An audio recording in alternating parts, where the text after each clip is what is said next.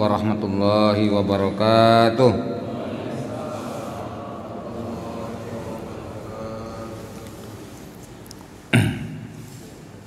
Alhamdulillahilladzi arsala rasulahu bil huda wa dinil haqq liyuzhirahu 'ala ad-dini kulli wa kafa billahi syahida la ilaha illallah wahdahu la syarika lah wa ashhadu anna Muhammadan 'abduhu wa rasuluh Wassalatu wassalamu ala Rasulillah wa ala alihi wa ashabihi wa mawala أعوذ بالله من الشيطان الرجيم يا أيها الذين آمنوا اتقوا الله حق تقاته ولا تموتن إلا وأنتم مسلمون أما بعد فإن أصدق الحديث كتاب الله وخير الهدي هدي محمد صلى الله عليه وسلم وشر الأمور محدثاتها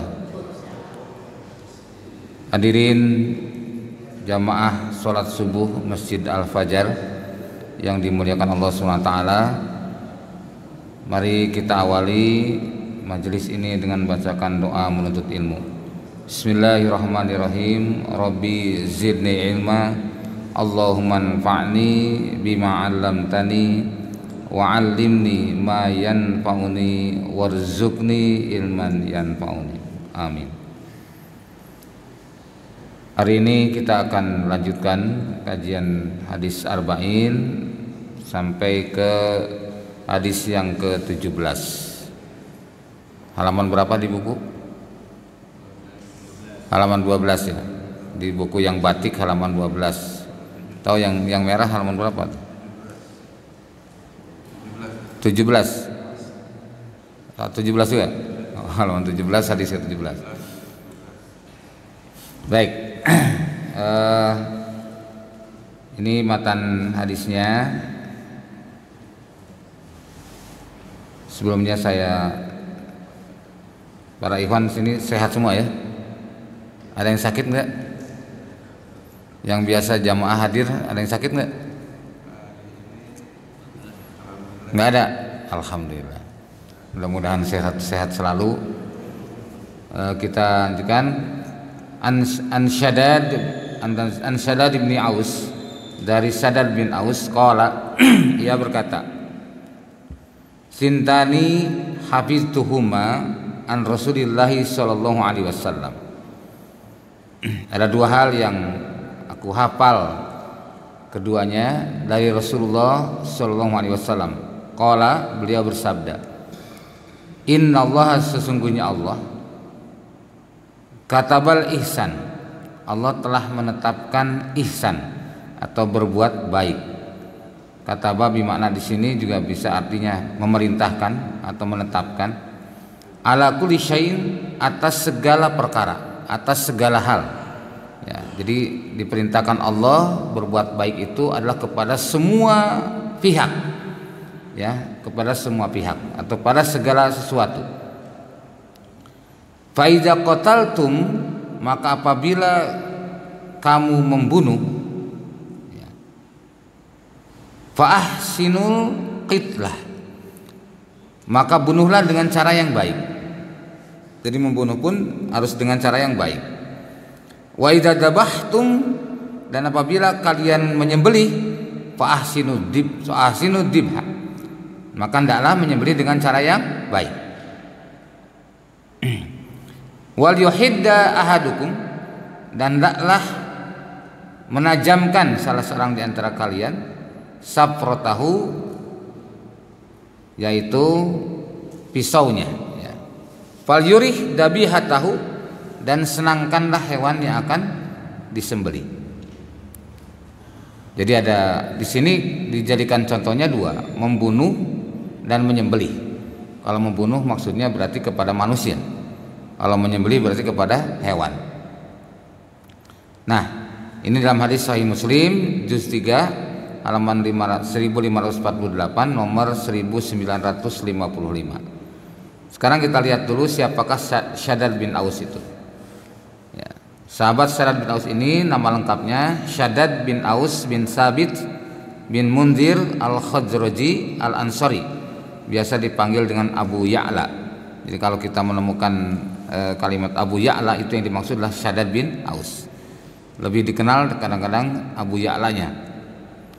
Nah sosok sahabat ini yang terkenal fasih ya penyabar dan bijaksana. Jadi fasih dalam hal ini bacaan Al-Qur'annya bagus terus pembicaraannya juga bagus gitu ya. Ia meriwayatkan kurang lebih sekitar 50 hadis. Ia pernah ditugaskan Umar bin Khattab menjadi waliul imam di wilayah Homs, ya. daerah Homs itu adalah eh, dekat daerah Iran. Ya. Kemudian ia pernah merantau ke Palestina dan menetap di sana. Abu Darda mengatakan, Abu Darda adalah salah seorang sahabat dari tujuh sahabat yang direkomendasi oleh Rasulullah SAW untuk dijadikan rujukan. Jadi ada tujuh orang yang oleh Rasul dijadikan eh, apa sahab ulamanya sahabat yang mereka lebih menguasai Al-Quran dibandingkan yang lainnya. Antara lain Abu Darda, kemudian Ubay bin Kaab, kemudian Abdullah bin Abbas, Abdullah bin Mas'ud, kemudian Abdullah bin Umar, Mu'ad bin Jabal dan uh, Salim Maula, Maula Abu Zaifah.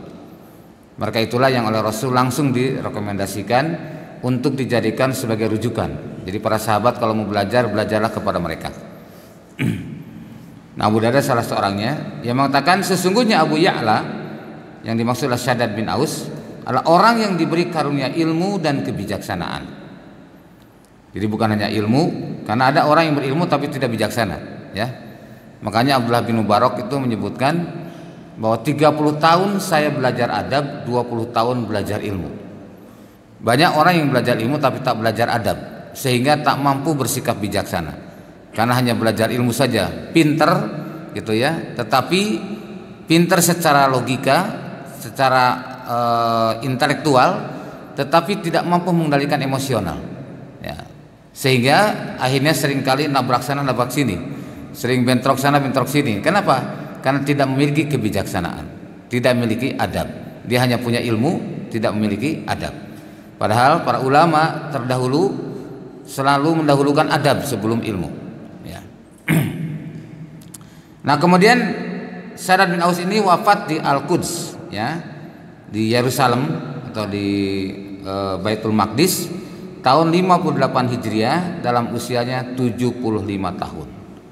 Itulah keadaan sahabat yang dekat dengan Rasulullah SAW. Salah satunya adalah Syadad bin Aus.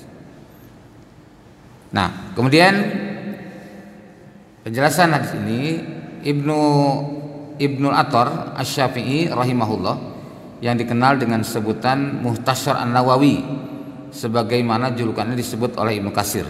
Jadi Ibnu Kasir menyebutnya Muhtasyar An-Nawawi karena merupakan eh, seorang ulama yang seolah-olah mewakili Imam An-Nawawi tapi secara global.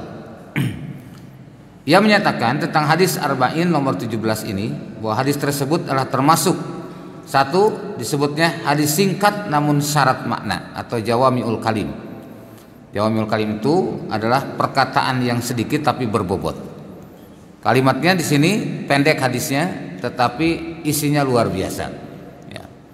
Kemudian ia menyebutkan juga hadis ini berisi kaidah pokok dalam agama ini. Karena menyangkut keseluruhan. Disebutkan tadi innallaha kataba katabal ihsan ala kulli syai.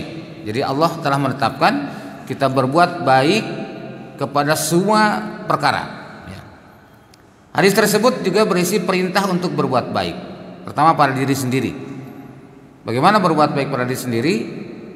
Antara lain kita menjaga diri kita sehat jasmani dan rohani, menjaga ibadah kita kepada Allah SWT, kemudian eh, kita menjaga untuk tetap berbaik kepada kemaslahatan pada setiap manusia itu pun adalah pada diri sendiri. Ya, menghindari sifat-sifat yang buruk dalam hati ya, dalam pikiran juga dalam tindakan itu antara lain menjaga atau berbuat ihsan pada diri sendiri. Pada setiap makhluk artinya kepada manusia, kepada hewan, kepada tumbuhan, pada lingkungan dan lain-lain juga tetap kita bersikap ihsan. Pada saat menyembelih dengan berbuat baik pada hewan yang akan disembelih. Ya. Dan perintah untuk menyenangkan hewan sembelihan.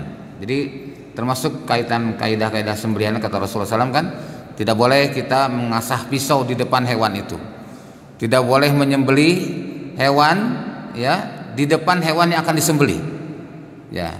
Jadi sampai para sahabat eh, ada seorang sahabat yang melakukan hal itu kata Rasul, "Apa kamu akan membunuh dia berkali-kali. Karena hewan pun punya perasaan. Ketika lihat temannya disembeli di samping dia, itu sudah merasakan dia. Ya, maka tidak boleh, harus dijauhkan tempat penyembelihan dengan tempat penyimpanan. Kita kadang-kadang kurang perhatikan masalah ini ya. Saat kurban kita sembelih para hewan yang lain menyaksikan, tidak boleh demikian. Demikian pula tadi mengasah pisau ya di samping hewan yang akan disembelih itu tidak dibolehkan. Kemudian uh, hendaknya kita menyenangkan hewan yang akan disembelih. Senangkanlah hewan itu disayang, kasih makan dulu, ya. Kemudian bila perlu dibersihkan, tidak mengapa. Yang memberikan bentuk kasih sayang, perhatian kita kepada hewan tersebut. nah, sekarang kita lihat bagaimana menyenangkan hewan yang akan disembelih. Pertama menajamkan pisau sehingga hewan cepat dalam penyembelihan. Jadi jangan menyembelih hewan dengan pisau tumpul ya. Itu artinya menzoliminya. Harus dengan pisau yang sangat tajam. Maka kalau seperti dalam kurban itu kan ada orang yang sampai berkali-kali. Nah itu kasihan.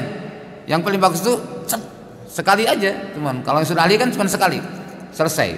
Itu dan cepat uh, dia menemui kematiannya jadi tidak mengasah pisau di hadapan hewan yang akan disembelih tidak menyembelih hewan yang dilihat hewan lainnya tidak melewatkan hewan yang akan disembelih di tempat penyembelihannya. Tuh. Jadi ini mau disembelih di sini, nah, hewan lewat ke tempat yang akan jadi tempat penyembelihannya, itu pun akan mengganggu, ya. Artinya membuat tidak nyaman bagi hewan tersebut. Nah, dari Ibnu Abbas radhiyallahu anhu ia berkata, Rasulullah SAW mengamati seseorang yang meletakkan kakinya di atas pipi atau sisi kambing dalam keadaan ia mengasah pisaunya. Nah, sedangkan kambing itu memandang kepadanya. Lantas Nabi SAW bersabda, "Aturidu antumitaha mautatin halan hadatta saprotaka qabla an tudji'aha." Jadi Nabi menegur bahwasanya aturidu apa kamu menghendaki antumitaha mautatin untuk membunuh atau mematikan dia dan berkali-kali kematian. Tuh, masya Allah ya. Jadi Rasul menegurnya dengan demikian. Hadatta saprotaka qabla an tudji'aha. Nah, hendaklah pisaumu itu adalah diasah terlebih dahulu sebelum kau membaringkannya. Jadi sebelum membaringkan itu kita sudah siap. Jangan sampai hewan itu menyaksikan kita sedang mengasah pisau. Hada hadisun sahihun ala syartil Bukhari walam yuharri walam yuharri jahab. Jadi ini hadis adalah sahih dengan syarat Imam Bukhari. Jadi Imam Bukhari itu punya syarat-syarat dalam menentukan hadis sahih. Nah, hadis ini pun syaratnya adalah dengan syarat Imam Bukhari. Hadis ini sahihnya. Nah, kemudian apa faidah hadis nomor 17 ini? Pertama menjelaskan bahwa Allah sangat menyayangi hambanya Yaitu Allah menetapkan agar berbuat baik kepada sesama. Misalnya memberi petunjuk jalan pada orang yang tersesat Memberi makan pada orang yang butuh makan Menyelesaikan permasalahan manusiawi. Ini adalah merupakan e, bagian daripada hadis ini Bahwa kita harus selalu peduli kepada kesulitan orang lain. Di dalam hadis lain disebutkan man satara musliman satarallahu yaumal qiyamah ya atau satarallahu di dunia wal akhirah. Bahwasanya barang siapa yang membebaskan atau menutup aib seorang muslim maka Allah akan menutup aibnya pada hari kiamat. Pada riwayat lain Allah akan menutup aibnya di dunia dan akhirat. Kemudian menunjukkan dorongan untuk berbuat ihsan pada segala sesuatu jadi menunjukkan rahmatan lil alamin dengan hadis ini bahwa kita di dalam kondisi apa pun di mana pun dan kapan pun harus selalu berbuat baik. Ya. Kemudian dalam membunuh atau menyembelih diperintahkan dengan cara yang baik, yaitu dengan mengikuti tuntunan syariah. Jadi tidak boleh sembarangan. Hendaknya para penyembelih itu belajar ya untuk menyembelih dengan benar sehingga tidak menyalahi ketentuan syariat. Tidak emosional dan mengikuti hawa nafsu. Menggunakan kata kata bah atau kitabah itu menetapkan Sedangkan kitabah itu dijelaskan oleh para ulama ada dua macam, yaitu kitabah qadariyah dan kitabah syar'iyah. Kitabah qadariyah adalah ketetapan yang pasti terjadi. Ya. Sedangkan kitabah syar'iyah adalah ketetapan yang kadang manusia kerjakan, kadang juga tidak dikerjakan. Jadi kalau misalkan e, kitabah qadariyah itu sesuatu yang sudah ditetapkan oleh Allah SWT itu yang pasti terjadi. Artinya semacam takdir ya, takdir kitab e, kitab Qadariyah ini adalah takdir yang sudah ditetapkan. Nah sedangkan kitab syariah adalah ketetapan yang kadang manusia kerjakan kadang tidak. Ketetapan syariah kadang kita melakukannya atau kadang kita tidak melakukannya. Nah ini contoh kitabah Qadariyah dalam Al-Quran surah Al-Anbiya ayat 105 A'udzubillahi minasyaitonirrajim Walaqad katabna fi zabur Sungguh kami telah menetapkan Telah kami tulis dalam kitab Zabur Mim ba'di zikr ya. Sesudah kami tulis di lauhul mahfud Annal ardo bahwasanya bumi ini Yarisuha ya. Allah wariskan bumi ini Ibadiyah salihun Kepada hamba-hambaku yang salih jadi hakikatnya bumi Allah ini sudah diwariskan kepada hamba Allah yang salih. Nah, timbul pertanyaan, tapi kenapa sekarang dikuasai oleh orang-orang kafir? Kenapa mereka lebih mendominasi? Nah, inilah kesalahan kaum muslimin. Ya, akibat daripada umat Islam tidak berpijak di atas kebenaran. Makanya ada salah satu buku yang berjudul limadza ta'akhkharal muslimun wa limadza taqaddama ghairuhum. Ada yang pernah baca? Ada yang pernah dengar nggak? Nah, ini adalah buku ini ditulis oleh Syekh Amir Sakib Arselan. Dia salah seorang ulama Mesir di abad 20. Kalau nggak salah terbit pertama tahun 1934 buku itu. Itu awalnya dari surat yang dikirim oleh uh, Syekh Basun Imron dari Kerajaan Sambas di Kalimantan Barat. Ngirim kepada beliau melihat umat Islam yang sedang terpuruk ini kemudian beliau bertanya dan itu waktu itu menjelang runtuhnya Turki Utsmani. Nah, tulislah kalimatnya begitu, limada ta'akharul muslimun wa limada taqaddama ghairuhum. Kemudian dibaca oleh beliau dan ternyata pertanyaan ini sungguh menggugah. Kemudian beliau menjawab dalam buku itu bukunya tipis, Pak. Mungkin se, kurang lebih setebal ini, setebal HP ini. Bukunya tipis. Dan tapi isinya luar biasa, ya. Masya Allah ada sekitar kurang lebih delapan jawaban, ya. Kalau kita uraikan, antara lain misalkan bahwa umat Islam diperintahkan untuk berpegang teguh kepada kitabullah dan sunnah Nabi. Kemudian umat Islam dalam umat Islam tidak berpegang teguh padahal Allah merintahkan berpegang teguh kepada kita pula dan sunnah Nabi. Umat Islam tidak bersatu padahal Allah perintahkan untuk bersatu. Kemudian umat Islam eh, dikuasai perekonomiannya oleh orang-orang barat. Umat Islam lebih banyak menjadi konsumen daripada produsen. Kemudian lagi hilangnya semangat jihad di kalangan kaum muslimin karena kecintanya pada dunia yang berlebihan. Kemudian lagi e, disebutkan juga bahwa umat Islam tidak memiliki media massa yang mumpuni. Artinya media massa ini lebih banyak dikuasai oleh orang-orang kafir. Nah, kemudian juga beliau menyampaikan bahwasanya hilangnya kepekaan ya. Umat Islam lebih lebih sibuk dengan urusan-urusan yang remeh-temeh daripada hal yang, yang prinsip. Nah, buktinya benar kan? Kadang-kadang urusan-urusan fikih ribut gitu. Tapi urusan permasalahan umat Islam dibantai, umat Islam e, tidak punya izah, tidak punya kemuliaan, itu kadang-kadang kurang jadi perhatian. Tuh. Bahkan ada ketika kita misalkan peduli kepada Palestina, kita peduli kepada Rohingya. Ada di antara orang Indonesia pun menyatakan ngapain kita mikir-mikir orang jauh, orang di Indonesia juga banyak masalah. Masya Allah. Pernah dengar nggak? Ya, ini akibat apa? Hilang kepedulian pada sesama kaum muslimin hilang. Dan ini adalah salah satu di antara penyebab mundurnya umat Islam. Nah, jadi sesungguhnya bumi Allah ini sudah Allah wariskan kepada orang-orang yang solih.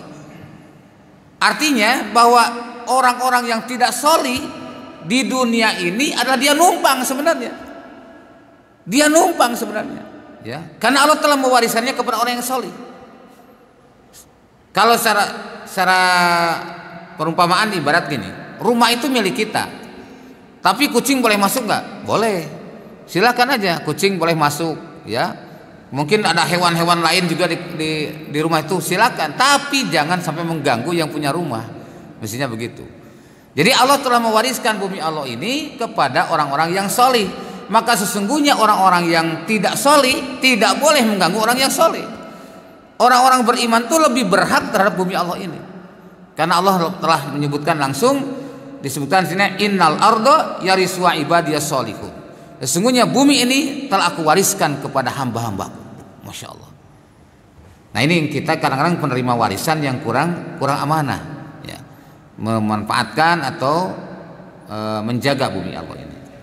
Nah ini kalimat mimba di zikri, kalimat ini dalam tafsir Mukasir disebutkan sebagai berikut. Walakot katab nabi zabur mimba di zikri. Ya, sungguh telah kami tetapkan dalam kitab Zabur ya sesudah uh, mimba di. Apa itu di sini sebenarnya? Qala al-A'mash, ya A'mash berkata, Sa'atu Sa'id Sa'id bin Jubair, aku bertanya kepada Sa'id bin Jubair an qaulih ta'ala tentang firman Allah taala apa yang dimaksud dengan walaqad katabna fi zabur min ba'di zikri. Apa yang dimaksud dengan itu?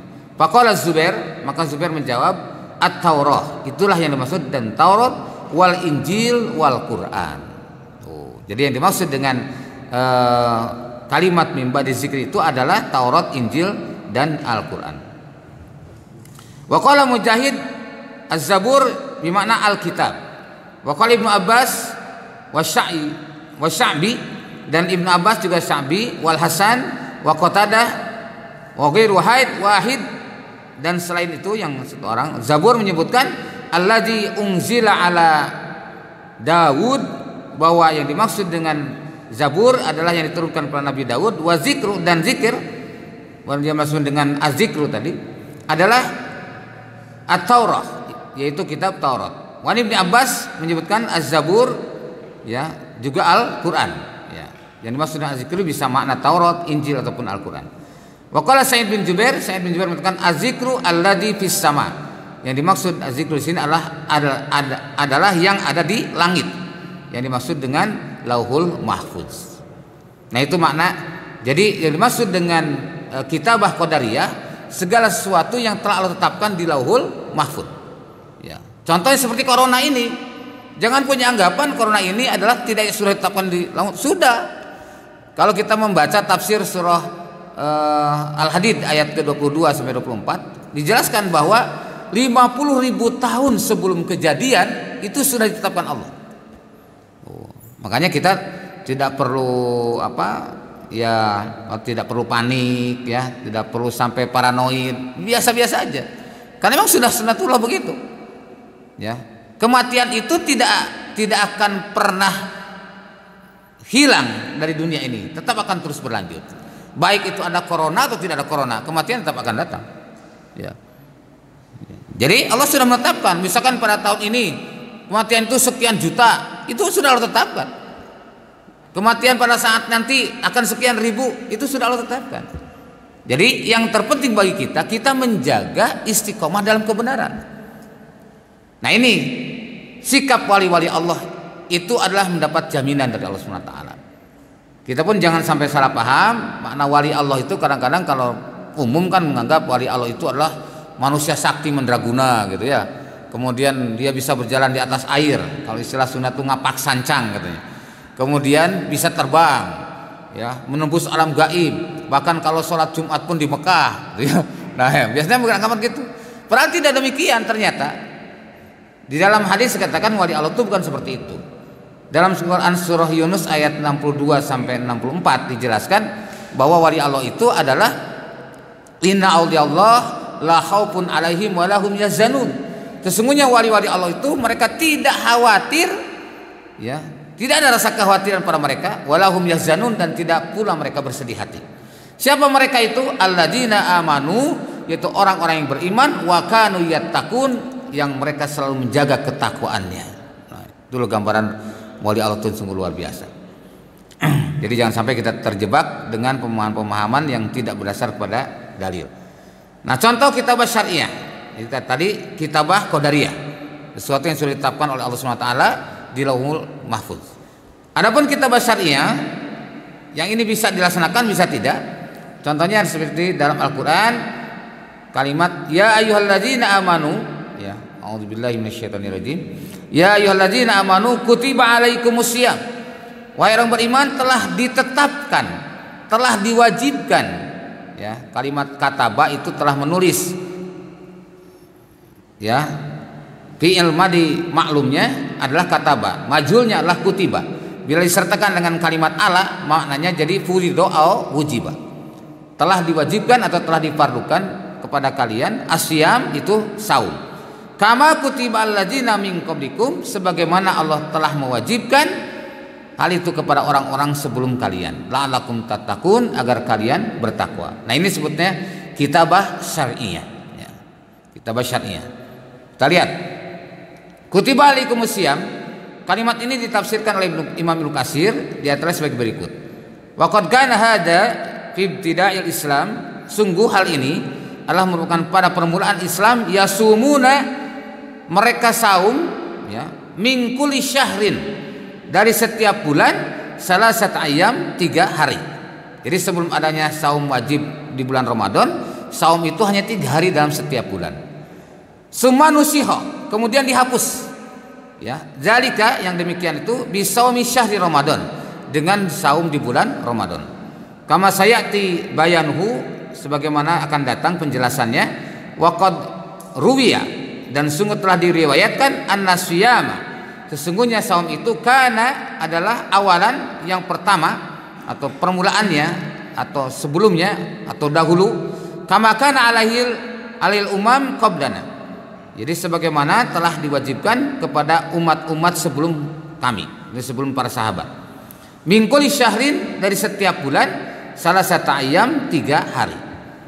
An Muad wa ibn Mas'ud dari Muad dan Ibnu Mas'ud wa ibn Abbas dari Ibnu Abbas wa atau dari atau juga wa Qatadah dari Qatadah wa Dohak dari uh, Dohak bin Muzahim wa Zada dan dia menambahkan lam yazal hada masyru'an min zamanin Nuh ila an nasaha ila an an nasahallahu zalika bisyami syahri Ramadan. Jadi tidak terputus ya artinya senantiasa ini telah disyariatkan dari zamannya Nabi Nuh sampai Allah menghapuskannya saum tiga hari itu diganti dengan saum Ramadan. Jadi kewajiban umat Islam dari zaman Nabi Nuh melaksanakan saum tiga hari dalam setiap bulan. Ya itu sampai uh, sampai turun ayat tadi baru tidak ada lagi wajib tiga hari dalam satu bulan. Sehingga Rasulullah SAW menetapkan jadi saum sunnah nah kemudian perintah ihsan dalam Al-Quran antara lain Allah berfirman A'udzubillahi minasyaitonirrajim. Wabdagi fi ma atakallahu darul akhir dan carilah kejarlah carilah fi ma atakallah pada apa-apa yang Allah datangkan kepadamu ad-darul akhirah negeri akhirat. Maksudnya orientasikan hidup itu kepada kebahagiaan di akhirat. Wala tangsa nasibaka minad dunia dan janganlah kamu melupakan nasib kamu di dunia. Jadi kalau perintah akhirat itu wabtagi mencari sedangkan dunia itu wala tangsa jangan dilupakan. Sama enggak bobotnya? Beda, beda sangat berbeda. Ya kalau kita mencari sesuatu pak misalkan kita kehilangan sesuatu coba cari kamu. Ada nggak yang cari berleha-leha? Ya udah carilah di mana ya? Tidak mungkin. Mesti mencari itu adalah sibuk, ya. Sibuk di mana ya tadi barang saya? Buka itu, buka ini. Wah, bila perlu menggunakan e, magnet dan sebagainya. Alat-alat yang tadi pendeteksi itu adalah untuk mencari. Nah, sedangkan yang jangan dilupakan sekedarnya saja. Seperti halnya mandilah kamu setiap hari jangan lupa gosok gigi. Seimbang nggak mandi dengan gosok gigi? Tidak seimbang kan? Gosok gigi hanya mulut saja sedangkan mandi seluruh tubuhnya. Tuh. Demikian pula dalam hal ini akhirat itu harus dikejar harus dicari. Tapi dunia jangan kamu lupakan. Jadi sekedarnya. Nah maka dalam ini para sahabat radhiyallahu anhum makna sekedarnya itu bukan berarti ya udahlah yang penting bisa makan. Bukan begitu. Ya ini sikap mental. Sikap mental para sahabat radhiyallahu anhum seperti Abdurrahman bin Auf. Abdurrahman bin Auf ini seorang sahabat yang luar biasa kalau sekarang mungkin bukan lagi miliuner tapi triliuner. Karena kalau infak kepada Rasulullah SAW ketika mulai naik e, usahanya, beliau infak 4000 dinar. Kalikan saja 4000 dinar kali 4 juta. Dinar itu sekarang nilainya 3,9. Hampir 4 juta. Nah, kemudian begitu naik usahanya, infaknya berapa? 40 ribu dinar. 40 ribu dinar kalau dinilaikan 4 satu dinar itu 4 juta berarti 160 miliar. Itu infaknya bukan hartanya. Bisa dibayangkan dua setengah persen dari hartanya diinfakkan kan? Berarti 160 miliar itu dua setengah persennya. Masya Allah ini luar biasa. Tapi walaupun begitu kayanya Abdurrahman bin Auf tidak pernah menyimpan harta itu dalam hatinya. Itu yang ini yang dimaksud dengan wabdagi fi matkal darul wa la tangsa nasibaka minad dunya. Jadi nak Abdurrahman bin memenuhi kebutuhan hidupnya biasa secara wajar. Tapi untuk kepentingan-kepentingan di jalan Allah, kepentingan-kepentingan di jalan dakwah, kepentingan kaum muslimin, maka beliau dengan mudah mengalirkan hartanya. Karena tidak pernah menyimpan harta dalam hatinya, tapi simpan hartanya di dalam tangannya. Walau demikian, Abdurrahman bin Auf sudah banyak sekali membangun rumah untuk para sahabat, memberikan harta yang berlimpah ruah untuk kepentingan Islam dan muslimin. Tapi Rasul bersabda ra'aitu ya Abdurrahman bin Auf yadkhuluna al-jannati habwan. Aku melihat Abdurrahman bin Auf itu masuk dalam surga dalam keadaan merangkak. Tuh Masya Allah. Jadi walaupun sudah berlimpah ruah ternyata oleh Rasul masih disebut itu. Maka Abdurrahman bin Auf sejak itu terus makin giat untuk menginfakkan hartanya di jalan Allah. Dan Abdurrahman bin Auf ini punya mental kalau tidak ada di rumahnya, beliau kemungkinan di masjid. Kalau tidak di masjid, berarti sedang transaksi di pasar. Jika di masjid dan di pasar tidak ada, berarti sedang berjihad bersama Rasulullah Shallallahu Alaihi Wasallam. Tidak pernah meninggalkan jihad. Jadi tidak begini, udahlah urusan amal soleh, urusan kotor, urusan orang miskin lah. Sama orang kaya deh kasih uang aja dah. Seolah enak itu ya, kasih uang aja lah. Uang aja lah saya mau. Beralih aja nonton TV di rumah ya bersenang-senang sama keluarga. Padahal orang lain beramal soleh misalkan orang lain gotong royong. Nah tidak begitu. Sikap mental para sahabat tidak demikian. Ketika saatnya genderang jihad ditabuh Abdurrahman bin Auf berada di depan di barisan terdepan bersama Rasulullah SAW sehingga saat kematiannya ia menemui syahid dengan 19 tusukan dalam tubuhnya. Coba. Padahal tadi berlimpah ruah hartanya sudah sering berinfak bersedekah ya luar biasa tapi juga tetap ketika panggilan jihad datang tidak pernah absen. Kira-kira apa bedanya dengan kita? Ya, kita ini sahabat bukan, ya, ilmu tidak ada, misalkan harta pun tidak selimpah mereka, tapi kok urusan-urusan amal soleh berat banget gitu ya, masya Allah. Yuk kita bersihin masjid, udahlah, yang lain aja lah katanya. Yuk kita beres-beres jalan, udah yang lain aja lah, gitu. Nah, ini, masya Allah. Maka di sini Allah firmankan, "Wa ahsin kama ahsanallahu ilaika." Dan berbuat baiklah engkau sebagaimana Allah telah berbuat baik kepadamu. Berbagai macam nikmat yang Allah telah limpahkan kepada kita, hendaknya kita sadari bahwa kita wajib bersyukur atas nikmat itu.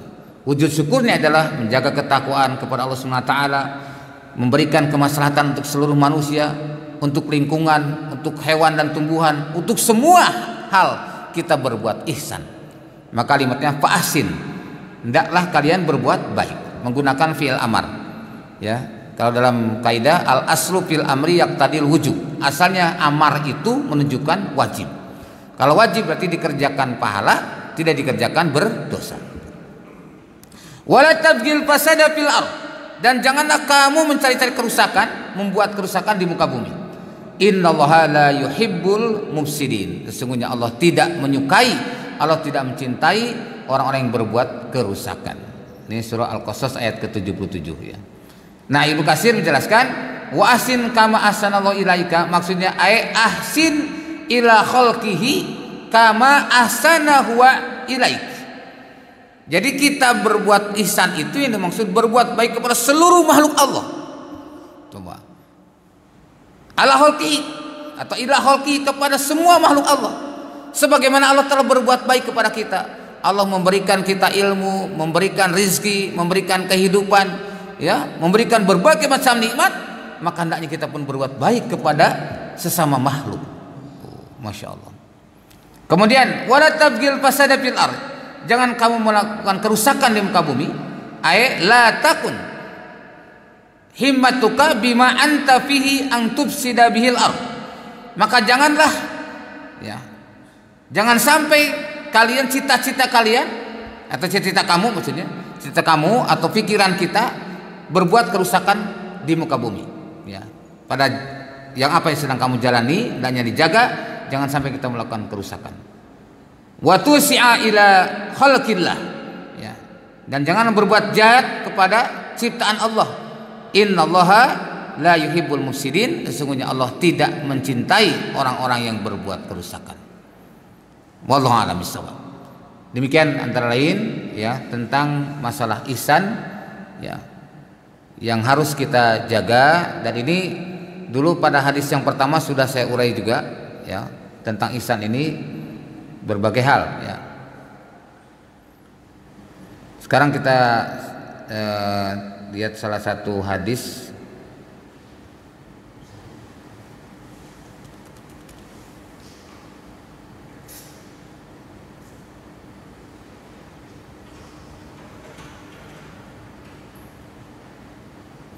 Nah, ini kaitan dengan nikmatnya ukhuwah Islamiyah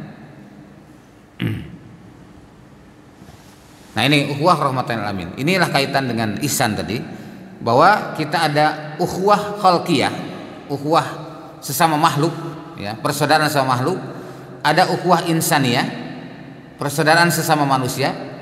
Bahwa dengan manusia, makanya dalam Islam kita punya tangga pun ada tiga. Ada tetangga yang satu hak, ada yang dua hak, ada yang tiga hak.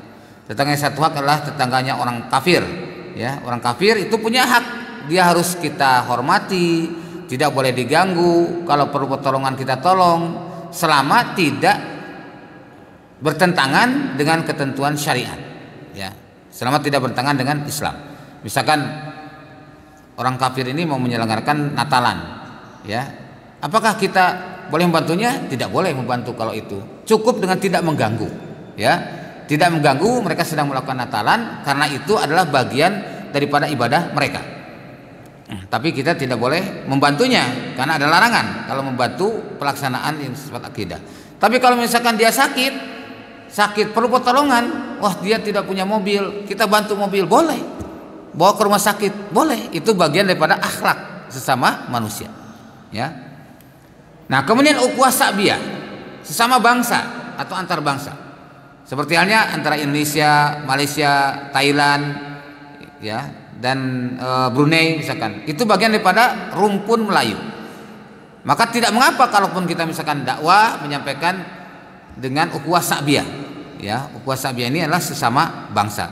Jadi pendekatan pendekatan kebangsaan boleh juga dilakukan demikian. Seperti halnya Rasulullah SAW juga menyampaikan kepada e, kaumnya disampaikan demikian nah kemudian ukhuwah Islamiyah itu adalah persaudaraan sesama muslim.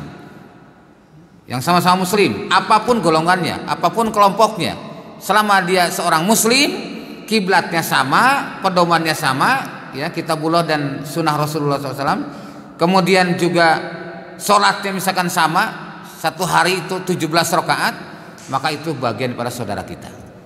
Nah ada yang lebih mendalam itu ukhuwah imaniyah, ukhuwah sama mukmin. Apa bedanya? Ukhuwah Islamiyah dan ukhuwah imaniyah beda pak.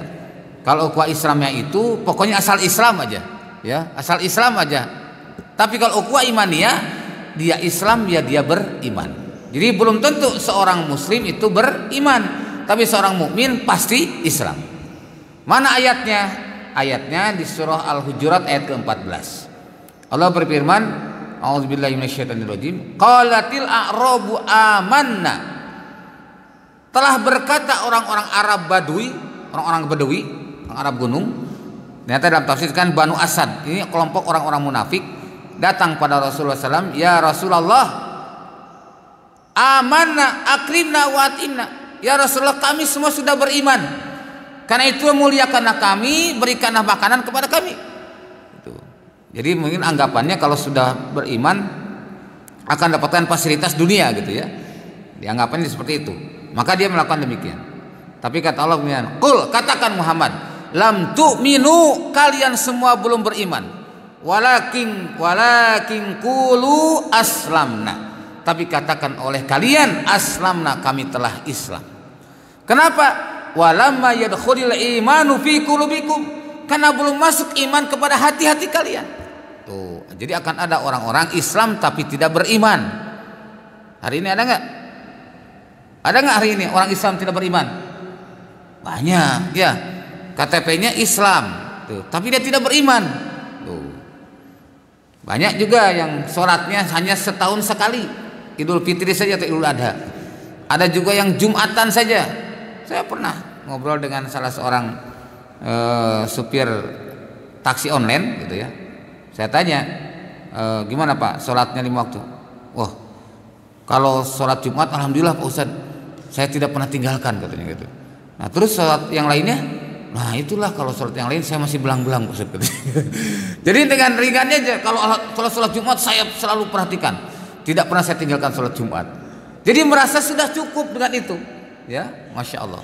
Akhirnya saya sampaikan supaya jangan pernah meninggalkan sholat walau hanya sekali. Karena sholat itu memisah antara iman dan kafir. Nah ini gua imannya. Maka di dalam Al-Quran hanya satu ayat ya di mana Allah SWT menyebutkan persaudaraan mukmin menggunakan kata ikhwah. Padahal persaudaraan ikhwah ini adalah persaudaraan yang senasab. Jadi dalam Al-Qur'an kalau kita kata ikhwah mestinya hubungan nasab. Mungkin apa seayah, seibu atau kandung atau sesusuan mesti ada ikatan nasab. Tapi kalau kata ikhwah digunakan untuk persaudaraan mukmin itu hanya dalam satu ayat. Surah Al-Hujurat ayat ke-10 innamal mu'minuna ikhwatun. Sesungguhnya mukmin itulah ikhwah persaudaraan. Lah mengapa menggunakan kata ikhwah? Untuk menunjukkan bahwa persaudaraan seiman itu sering kali melebihi persaudaraan nasab jadi kalau misalkan persaudaraan nasab sudah jelas ini persaudaraan seiman pun ternyata bisa menyamai bahkan kadang melebihi persaudaraan senasab betul demikian? Coba aja kita misalkan bapak-bapak atau ibu-ibu yang e, jamaah masjid Al Fajar ketika kita ada kesulitan ya apakah mungkin mau pinjam uang atau minta tolong mana yang lebih dekat saudara senasab atau saudara yang sama-sama iman dengan kita yang biasanya sama-sama oh sama-sama ngaji sama-sama ahli masjid sementara saudara kita tidak pernah ke masjid misalkan kira-kira mana yang lebih dekat mesti yang sama-sama ke masjid kan yang sama-sama beriman nah inilah yang dimaksud dengan ikhwah ya jadi dalam Islam tidak ada ekstremisme, tidak ada terorisme ya. Dan ukhuwah ini sendiri melakukan melakukan ukhuwah yang paling sedikit dari yang sedikit. Nah, maka kalimatnya gini. Persaudaraan karena Allah merupakan satu perkara yang sangat mulia dan diwajibkan dalam Islam. Ukhuwah filah adalah persenyawaan ruh dengan ruh, pertemuan hati dengan hati. Dan ikatan iman yang berandaskan takwa, kebersamaan menapaki jalan ilahi robi, ilahi robi berpegang teguh pada ajaran Allah. Cinta yang benar adalah memberi, bukan meminta. Cinta itu menenteramkan, sedang benci itu menggelisahkan. Nah, inilah persaudaraan karena nasab bisa terpisah karena beda akidah. Seperti halnya Nabi Nuh alaihissalam dengan putranya sendiri terpisah karena beda akidah. Abu Jahal dengan putranya Ikrimah juga terpisah. Tuh, masya Allah ya. Kemudian Abdullah bin Ubay itu gempongnya munafik. Tapi putranya Abdullah bin Ubay, Abdullah bin Abdullah bin Ubay sahabat Rasulullah. Karena orang munafik bukan sahabat, walaupun ia pun berbaiat kepada Rasul. Semua para ulama sepakat orang munafik bukan sahabat. Ya. nah, kemudian Ikhwan Fillah saya ingin sampaikan di hadis yang berkaitan dengan hari ini mungkin bisa dipelajari bahwasanya Rasulullah bersabda, "Inna min ibadillah." Sesungguhnya dari hamba-hamba Allah, launasan ada manusia mahum bi anbiya. Yang mereka itu bukan para nabi.